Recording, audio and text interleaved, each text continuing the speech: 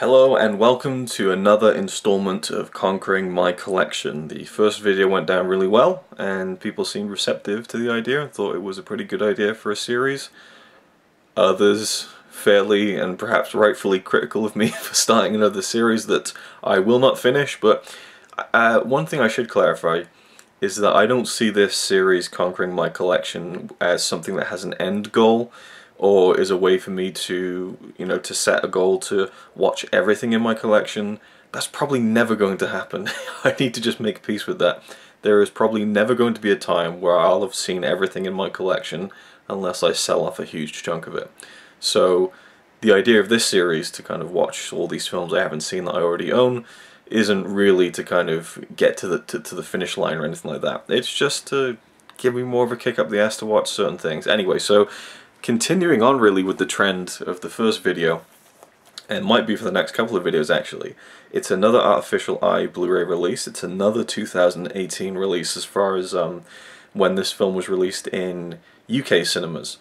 Because A Fantastic Woman is a 2017 film, but came out in 2018 in UK in the UK.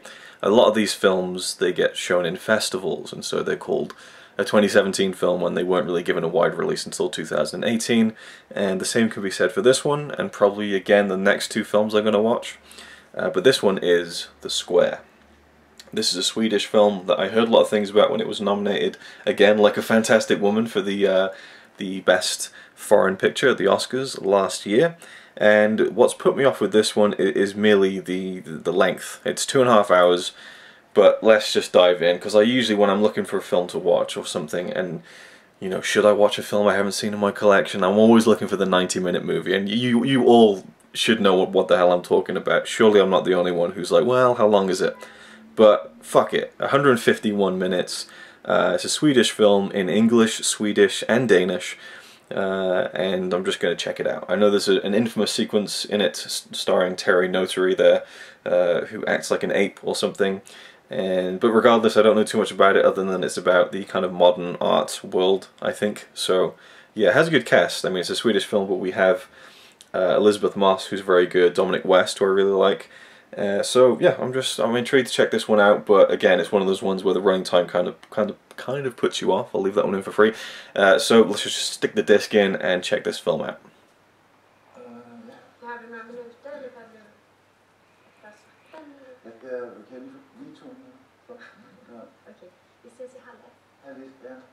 It's weird hearing Swedish. It's obviously different to Norwegian, but very similar. And I haven't heard Norwegian in quite a while.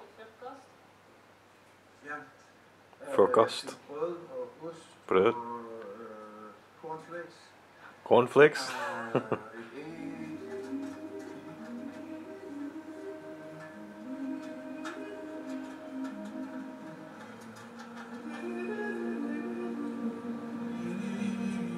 So I thought I would check in, I'm not even halfway through actually, 55 minutes into the square, almost an hour, and so again I thought I'd check in with my thoughts. Sometimes I do this from time to time in movie vlogs, so why not in one of these?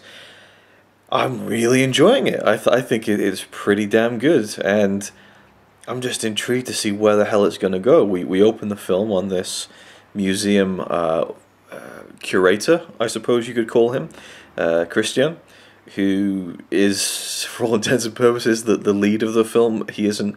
Uh, he wasn't billed at the beginning. Uh, let me have a look at the. Okay, right. Okay, so just the beginning of the um, the movie was like Elisabeth Moss, Dominic West, Terry Notary, all three of whom have appeared in maybe about four minutes of the, the first hour of the film. It's all about this guy Christian, and his attempt to uh, showcase this uh, art piece, this art exhibition called The Square, uh, which is a kind of conceptual piece. Uh, they've kind of, they kind of, it's there for people to go and view, but it's kind of, it, it seems to be building up for an actual kind of uh, exhibition uh, that will be a bit more a little bit more elaborate than what they've already got there. I mean, they've set things up but um, they're already talking with like journalists to promote it and things like that and to, to kind of drum up some controversy uh, even though he feels like it doesn't need controversy. It's more about the simplicity of the piece. But really, the whole element of the square is in the background in the first hour. We're mainly following this completely, you know, you would think secondary, tertiary thread of a film in which Christian is out in the public and uh, this girl runs past screaming bloody murder and uh, a passerby kind of stops her to see, you okay? What's going on? She's like, he's to kill me. And there's another guy on the other side of the square screaming. And he's running after them. And so Christian gets involved to kind of, you know, diffuse the situation. And this madman runs up and he runs into them and there's a big argument and the guy decides to go away. And so the, the situation is diffused. And Christian's like, fucking hell, like Jesus Christ, my heart's pounding. Like, could you believe that? And he's like, you know, high fiving the guy who who also stepped in to help. And then as he's walking away, I'm thinking, huh, that was an interesting but random scene in the film. And then it turned out to be pivotal because he then realizes, wait, my phone and wallet are both gone. They've just pulled a big scam on me. Uh, so he goes off and he's dealing with uh, the square, the kind of the art exhibit, and then he's tracking his phone. And then him and his assistant track where the phone is, which building, but they don't know which you know apartment it's in because the the, the Wi-Fi tracking isn't that accurate. So they come with, with the plan to write a, a threatening letter uh, and just post it through every single apartment in the building. And they're kind of laughing about it, like this is ridiculous. What are we doing? And then they end up doing it. And it's a brilliant moment when they're driving towards this apartment building and they put the music on and they're like yeah we're going for justice man. We're doing this. And they're like just almost on a high because they're going to do something that's kind of borderline you know exciting and um, something they shouldn't be doing almost vigilante like even though it's very tame the, the, you know posting a threatening letter through a, a letterbox and then they get to the actual building, and suddenly they realize that neither of them want to actually go in there and do it. And his assistant, who was all like, "I'll do it. I'll I'll post it for you. I'll do all the doors. You know, no problem." But as soon as they get there, he's like, "I'll I'll watch the car." You know, so Christian goes into the building. I'm kind of I'm not really giving away the plot, but or the film, but Christian goes into the building, and then his assistant is left in the car. Uh, you know, in the it's kind of underground parking, and then some people start intimidating him. And oh my god, that whole sequence at the apartment block was so tense. Yeah, even though it's just the the the threat, the possibility of uh, someone opening their door, finding Christian, posting these letters. So I, I just thought that sequence was so gripping in a really kind of almost mundane way where it just doesn't even feel like the film's properly started yet. But this whole element with the phone being missing and him trying to get it back uh, without going to the police, I suppose, uh, is, is pretty much eaten up most of the first hour of the film, and I'm totally okay with that.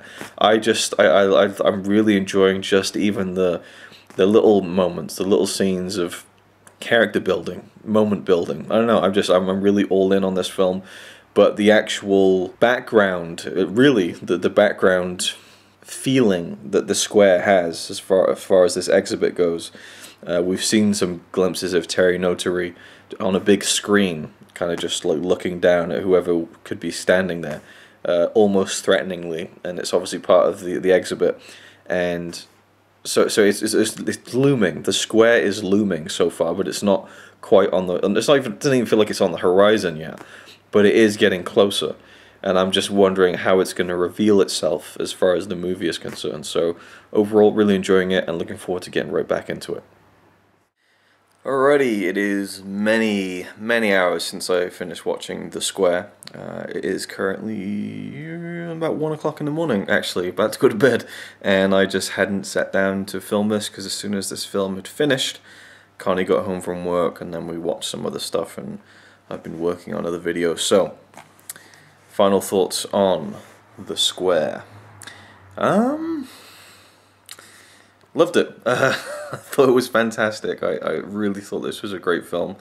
And funnily enough, I was talking about how the first hour of the film had, you know, focused on this um, this plot line of where uh, Christian had had his phone stolen and by the end of the first hour he ends up getting his phone back. Uh, I think I mentioned that he posted notes into every apartment in the, the tower block that he traced his phone to, saying, I know you're the thief, give me back my stuff, or there'll be trouble. And so his stuff gets given back to him, uh, gets sent in a parcel to a, a local 7 Eleven. and he gets you know so he gets his phone back and he's like great brilliant you know he, he's on top of the world and then more trouble begins to arise and I thought it wouldn't be as simple as that. Because now there are people who are mad that he sent a, a letter through their door all the people who haven't you know taken his phone. And so in particular there's a young boy uh, who must be 10 years old who's really angry because his parents think that it's him.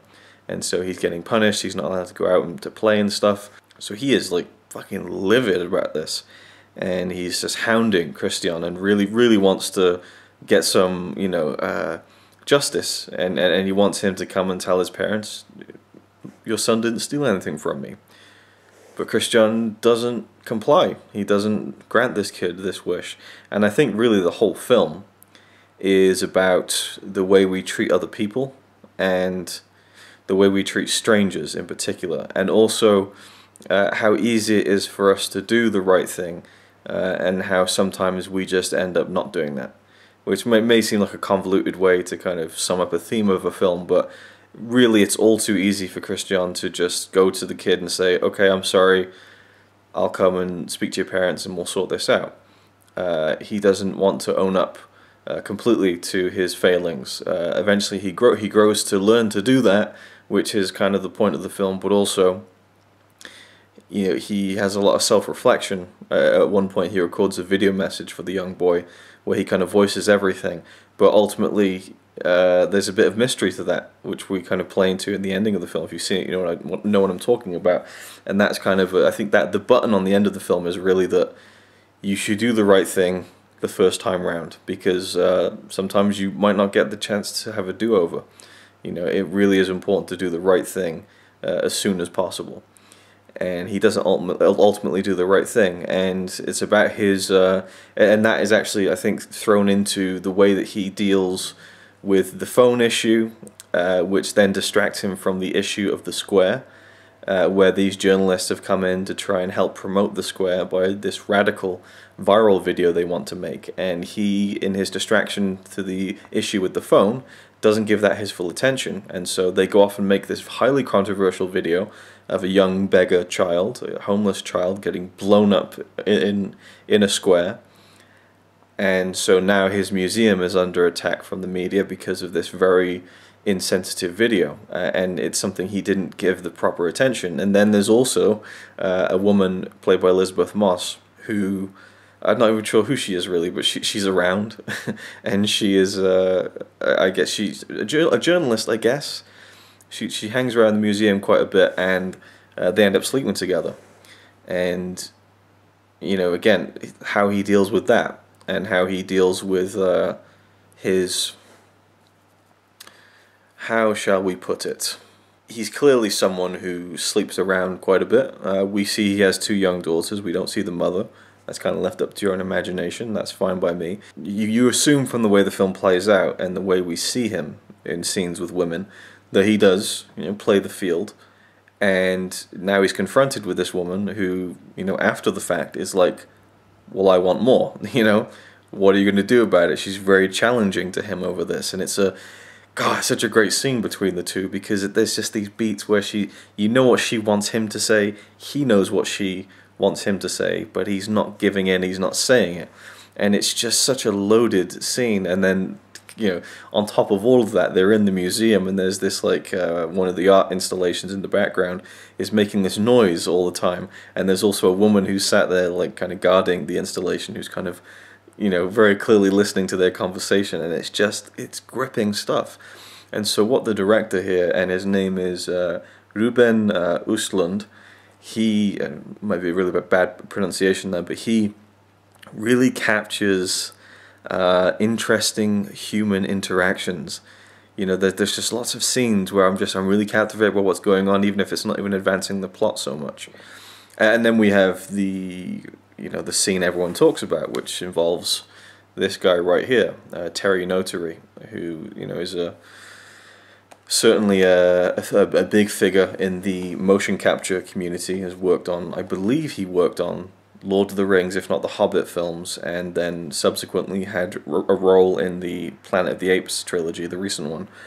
And so he's come in to kind of assume the role of an ape in this you know free form kind of art uh, performance art piece basically you have all the, the, the rich people of Stockholm coming in all the the kind of the art kind of people the art crowd they come in and sit down for a very nice dinner in this palatial kind of you know hall. And he comes in and he's meant to be this this animal. And they talk about um, you know the, the animal is about to come into the room. And whether he bothers you or not and I'm, I'm paraphrasing here whether he bothers you or not is up to you. If you remain perfectly still he may not see you. Uh, if you show signs of fear that might make you a target uh, if you step out of the crowd if you make yourself known then you know you'll you'll you know you'll you'll be in more danger than, than others and it's kind of in one sense a, a part of how in the animal kingdom you know uh, the the danger in which you are uh, in of an animal attacking you is all about the way you act and the way you present yourself.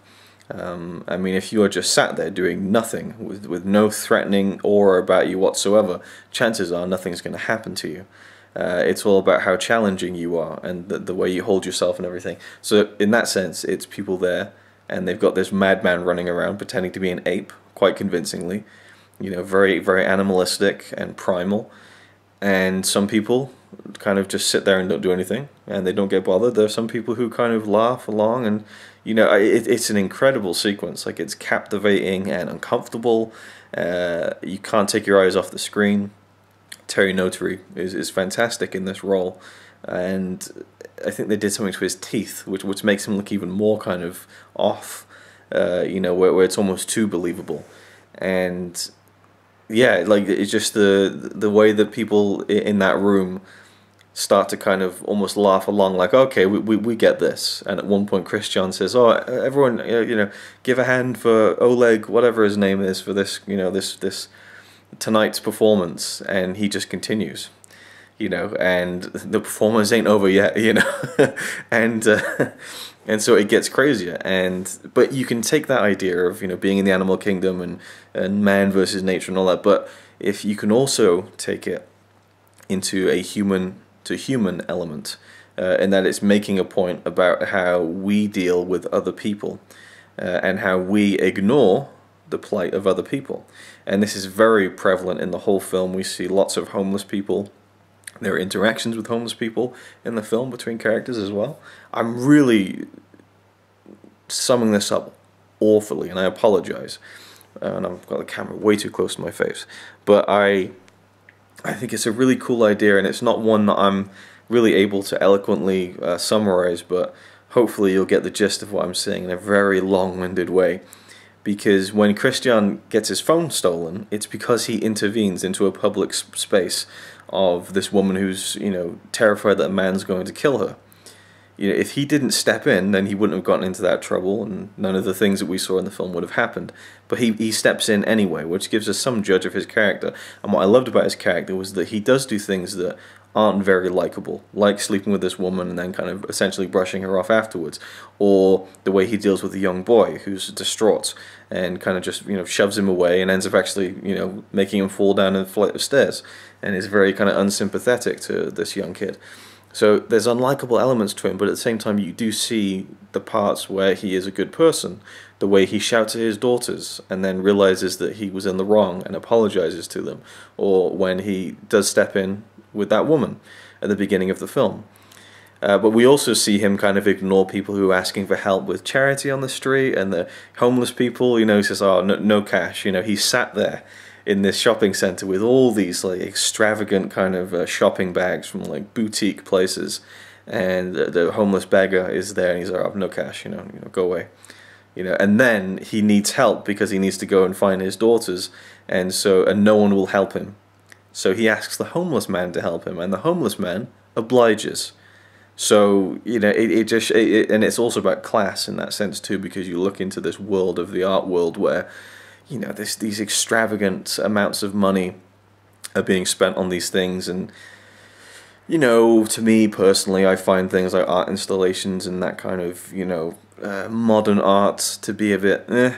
Uh, I, I wouldn't write it off completely. Um, it's just not for me, you know. And then you see the amount of money that goes into these things, and it just seems a bit ridiculous, you know. And goes into that whole thing of people who have so much money that they're literally just hoarding wealth for no reason, really. And other people, like the homeless people, are kind of, uh, in a sense, um, paying for that because there's people in the world who have money that they couldn't spend in a hundred lifetimes and they'll spend it on these frivolous things that really you know they, is that really the issue? But that it goes into that and I feel like this is a film you could watch again and again and, and get little different things from it.